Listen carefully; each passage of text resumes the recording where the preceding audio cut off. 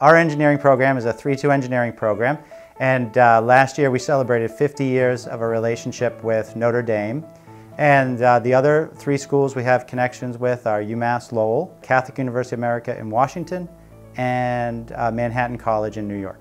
They have immediate entrance.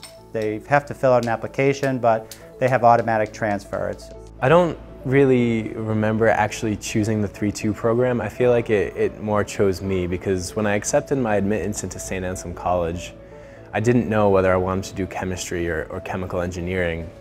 Um, and I, I had come to St. Anselm because I could play soccer. When students come in, one of the first things we want to do is make sure that we understand what type of engineering they don't want to do. Sometimes that's the easiest thing to figure out. So if students say, there's no, I have no interest in chemical engineering or I have no interest in electrical, then we can figure out what courses they should, should start taking at the freshman year. Do you see the very bottom of the page? He's got an expression for if you expand this. So I'm going to write. With that, we'll decide which of the programs best fits them because of their academic level and their, uh, their interest. Sometimes they'll be interested in a program they didn't even know existed. And so students spend three years here, and then in their fourth year at the next institution, they'll usually earn their degree at, from St. Anselm at the end of four in engineering physics.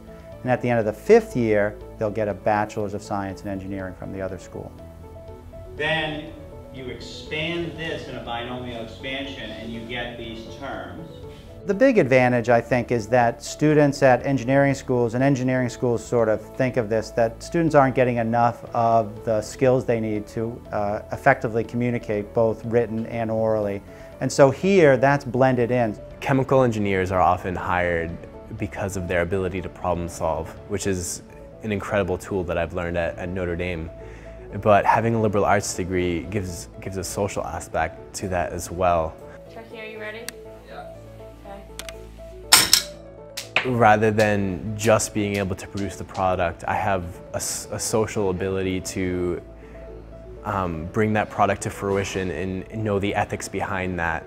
Um, and I think that's more than vital to actually getting products out into the consumer market. We've had students uh, gone on, going on to master's programs that quickly say they're way ahead of their uh, they're competitive students that came from strictly engineering backgrounds. They, they're the ones that everyone's gravitating to to help write reports, help uh, you know, analyze documents because they've had to analyze difficult texts in the, the St. Anselm curriculum. With a 3-2 route, you, you get a, a, sense of both worlds.